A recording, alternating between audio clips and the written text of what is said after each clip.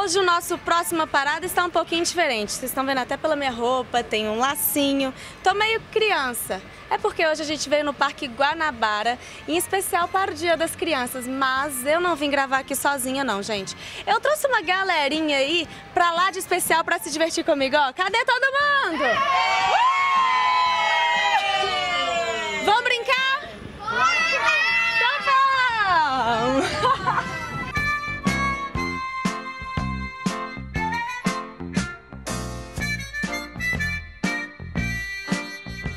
Mas antes da diversão, nós vamos conhecer a história do parque. Você aí de casa sabia que o Parque Guanabara era itinerante?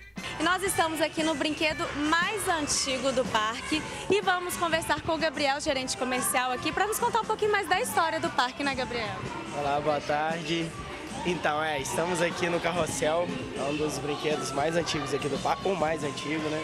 Na verdade, ele é de 1918 e em 1951, Paulo Pereira Dias, que foi fundador do parque, ele comprou esse brinquedo e esse, na verdade, ele comprou esse brinquedo e pegou alguns cavalos, né, que eles eram feitos de madeira, foi todo talhado à mão.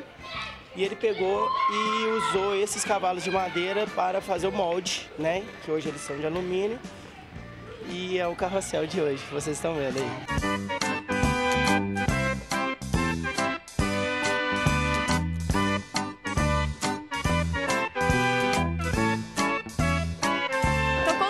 pra gente sobre a história, sobre como surgiu o parque. Então, o parque ele surgiu no Rio de Janeiro, né? Ele foi fundado pelo Paulo Pereira Dias.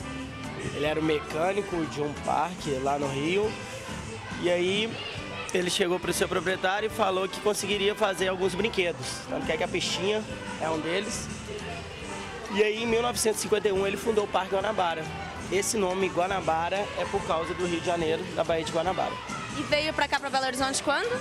Ele chegou aqui em 69, tá? Ele ficou primeiro na Avenida Padre Eustáquio e depois na Pedro II e só em 71 que ele chegou aqui na Orla da Lagoa.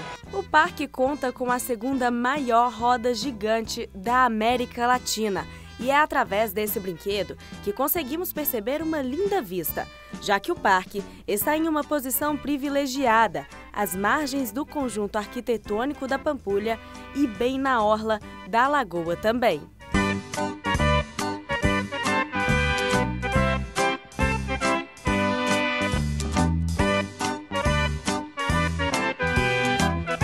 Corre que a diversão vai começar! O dia no parque foi pura alegria.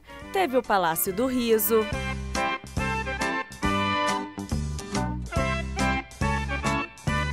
O brinquedo na água, conhecido como Bumper Boat.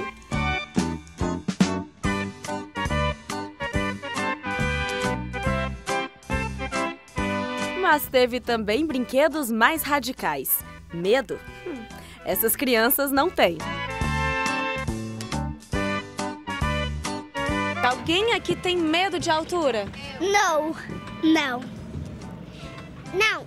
Nathan, você acha que aqui tem quantos metros aqui de altura? Uns 150 metros por aí. 150 metros? Uhum. Você acha que aqui dá qual andar de prédio? Os 27 andares. 27 andares? E você? Você tem medo de altura? Não! Você gosta?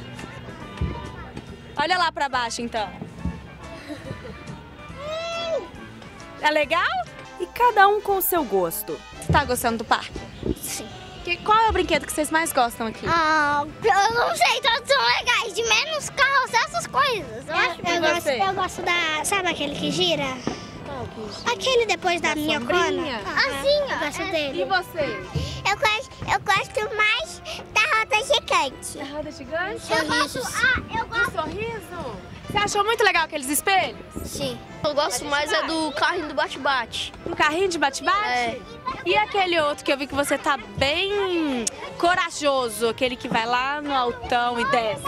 Uhum, eu, eu, tô, eu tô querendo ir nele também. É? E Manu, qual foi o brinquedo que você mais gostou?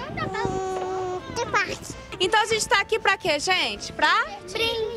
Divertir. Brincar, brincar divertir, aproveitar o dia, que é o dia das...